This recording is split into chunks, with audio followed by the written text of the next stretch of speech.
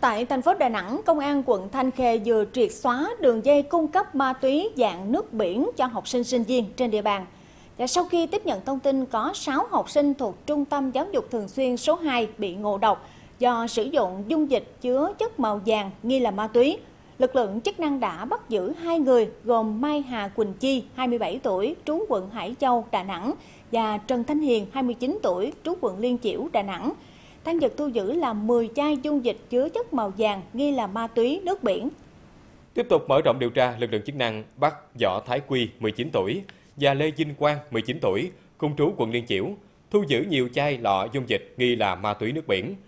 Từ lời khai và các tài liệu điều tra xác định, Thân Hoàng Vĩnh Long, 23 tuổi, trú quận Hải Châu, thành phố Đà Nẵng, là tổng đại lý cung cấp ma túy cho nhóm trên. Tiến hành kiểm tra chỗ ở của các đối tượng này, cảnh sát thu giữ thêm 16 chai chứa dung dịch nghi là ma túy nước biển. Cơ quan công an đã vận động Long ra đầu thú. Tổng tăng vật mà cơ quan chức năng thu giữ của nhóm người nêu trên là 700ml dung dịch nghi là ma túy nước biển.